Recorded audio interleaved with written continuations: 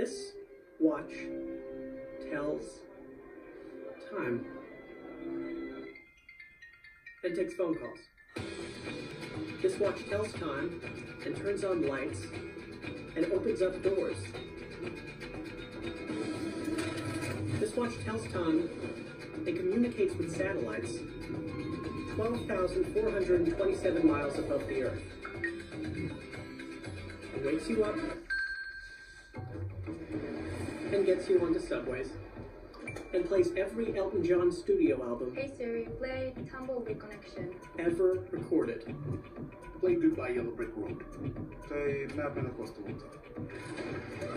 This watch tells time and sets timers and sets your pace and warns you when it's too loud.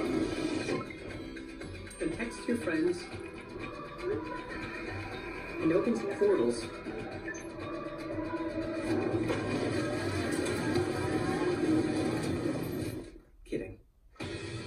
Tracks your distance underwater. It starts competitions. And accepts challenges. And tracks your workouts. And tells you which direction you should be going. And reminds you to breathe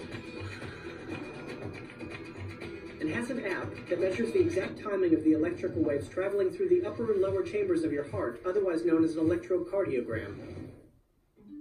So, in conclusion, just to reiterate, this watch tells time, among other things.